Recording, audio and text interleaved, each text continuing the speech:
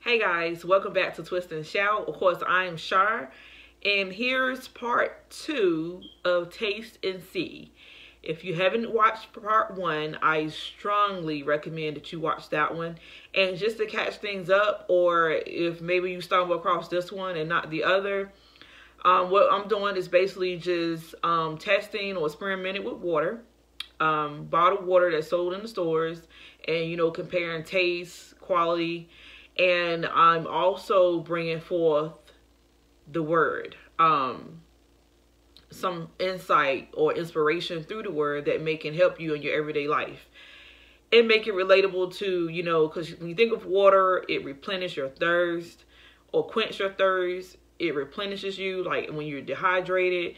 Um, it is the number one cure for a lot of common things such as um, headaches or fevers and things of the sort.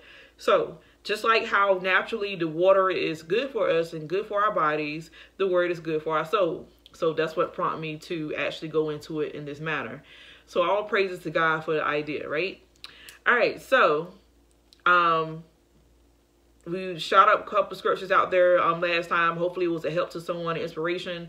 And like i said by all means don't forget to share like and subscribe. My whole thing is it's not about me. I'm not trying to get famous. I'm not trying to make money. Like i literally feel god tugging at me to do my part in the world today as far as um spreading the word and spreading the gospel. So with that being said all right. So we're gonna go ahead and hop into this today we have a interesting um, looking water. Caught my eye. It's called core hydration. Comment below if you ever had this water. Um, this has a ph balance of 7.4 um, perfectly balanced water with electrolytes and minerals. And let's see here. I think that is all that is in here. Um, this was a little expensive too. Um, like the life water um, you can get two for four or you can get one at like 189 or something like that. I believe this one is 179 and the other is 189 alone. Um, it's made in the U.S. 100% um, recyclable plastic bottle. It says um, BPA free. Um, ultra purified seven stage purification process. So interesting. Um, if y'all know me, I have well water and I have a generic um, purifier um, pitcher. I have a purified pitcher that I got at Walmart, just a generic brand. And I did compare like the life water and after the water has been going through the filter in my house and you can tell the difference in color, texture, taste, obviously. So that's quite interesting. Um, so I'm just gonna see if I can open this. Very interesting top that caught my eye because it twists off like this.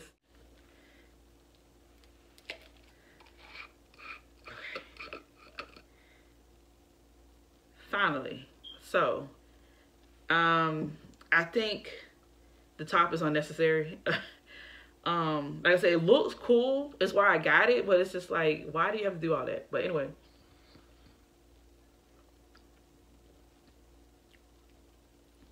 This one tastes more like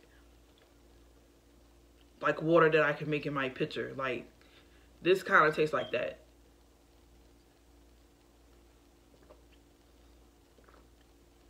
Y'all know I like my water cold, so yeah. I mean, it's good. Like, it just, it, it's, it doesn't taste special. Like, it's good water. Um, you can tell that it's cleansed, if that makes sense. But do I think I'm gonna go back in the store and spend two bucks? No, no, but it'll do for now because I like water. All right, so that's my take on the core water. And obviously, we're gonna get into the scripture. And let's start with the obvious. Um, today, I want to focus on knowledge and wisdom in the Lord. And we're going to start with Hosea, Hosea chapter 4, verse 6 is the scripture that I'm pretty sure you heard and seen a lot. And it said, My people are destroyed for a lack of knowledge, because thou hast rejected knowledge, I will also reject thee. That thou shalt be no priest to me, seeing thou hast forgotten the law of thy Lord. I will also forget thy children. Here that God has, throughout the Bible, we have many scriptures, especially like Proverbs, and Ecclesiastes and um, the Songs of Solomon. Like these are books that are driven on the idea, the concept that you need the wisdom and knowledge of God. You can't live without it. Even reading this Bible, you cannot just pick it up and just go about it because trust me, I've done that when I was 12 years old. I got a Bible, first time learning, understanding Christ, and I can tell you honestly, some things kind of stick to me because I've read it repeatedly. But I'm pretty sure some of these books I read, I couldn't even tell you what it was about, where it took place, or any of that because I was just reading. Like I wasn't absorbing the knowledge and wisdom that I'm supposed to when I read the word of God. I'm just gonna tell you a quick reference guide, what I do to actually help me get into the word, help me understand. We all know, let's be real. Even with the shut-in, it's like Satan would literally give you every idea to do any other thing besides literally shut yourself in, pray, meditate to your God, and read this word. But I got a trick for you. Um, here's what normally happens, right? You pick up the Bible, you instantly get sleepy. Who hasn't that happened to? Like, and for me, I, it's usually after the kids go to sleep that you wind down and you say, okay, it's time for me to read. But hear me out. First things first, pray. Lord, give me wisdom, knowledge, understanding to take heed to your word, to understand your word, and to have time for your word. Simple prayer, it gets the job done. Pray in Jesus' name, and he will grant you that. Like I said, when you dealing with real life, real life demons and issues, just picking up your Bible is not for everybody. Like everybody doesn't have that control.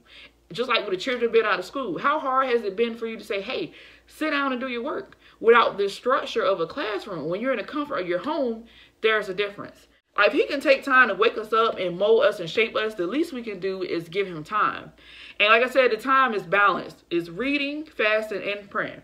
Now for me, like I said, um, the devil can either make you do too much or too less usually when I'm off, I'm off. Like I'll go days and not really pick up my Bible, right? Let's just be honest. I'm not perfect. And then those weeks and days, I'm just like, I gotta get it. I gotta get it. Now, obviously, as I become older, I do feel in here like, Shar, it's time for you to pick up your Bible and read. So I do better. And thank God for the Holy Spirit and discernment because it knows exactly when you need to do it and it allows you to, you know, you live your life and then you end up saying, wow, I'm so glad that the Holy Spirit talked to me and helped me to get to this point. Amen. So with that being said, let me just shoot you another scripture out here. And we're going to Romans. And we're Romans chapter 10. And it says, verse 2. It says, For I bear them record that they have a zeal of God, but not according to knowledge. So, this is in reference to, uh, we know that when Paul was writing, he was writing to churches. And obviously this particular church or maybe an issue that he had brought to them or he was speaking in general and just helping them to go about their business. There's a, you will find a lot of church that know how to hoop, they know how to holler. Their praise and worship is on point. But when it comes to what's in here that reflects the word of God is slacked. And you'll find that, and a lot of people complain, because my husband had that um complaint not too long ago, like, you go to a church where the music's good, you're like, yes, I feel, I got my praise on today. But then when it comes to you getting the meat of the word, or even a good strong milk, it's like, this ain't it. Or, because, and I, and I tell you the honest truth, we even been to churches where the Bible wasn't even cracked open at all. And y'all know, if you don't know, don't ever let nobody give you an impression that that's okay. Ever. Some of you may have need to worship God. Some of you may have need that you had a long week and you just got to get it out. You're frustrated and you got to dance that thing out. And then there's another group over here that, wait a minute, I needed that word. Like maybe I'm not a praiser. Maybe I'm a thinker. And I needed the word and wisdom of God to actually penetrate me here. And I get. A lot of people argue and say, well, if you do it during the week, you shouldn't have to worry about coming for one day, right? But like I said, it's give and take. There's balance in the church of God. And when you start seeing things go like the weight, the, the little weigher like this, and it's not because it's supposed to be here. Be even in the middle. And it's right there in the word. Like you can be, oh, I'm so happy. I'm so glad that I believe in God and Jesus Christ. But then you don't ever take the time to build up your spirit man. And you have to because that's what you're going to need when the Bibles get taken away. When it's illegal to even go to church. Or in a situation like this, well, you can't go stand before a man of God and you still have to be able to say, I know my word or I'm getting to know the Father. You're supposed to obtain knowledge, but make sure it's godly knowledge and wisdom and not man made. And make sure also, because usually, you know, those people that know too much, they know everything, and it's just like all you get is people like the Pharisees. Jesus told them, You know the law like the back of your hand. But you don't have any love and compassion in your heart and he needed that. And they couldn't give that because they were so holier than thou right? Balance. And i can honestly say i've been on both ends of the spectrum. It's been moments where i'm like hey you should know better. And then there's moments where i say you know what? God bless you. I'm praying for you. Because you never know what that little compassion can do for someone and even in my own experience it's been times people say, you know what, all right, we're going to pray for you. It's all right. And sometimes you need that. Because we know love covers a multitude of sin. Amen. All right, with that being said, I'm going to leave you with one last scripture. And one last testing of the core water.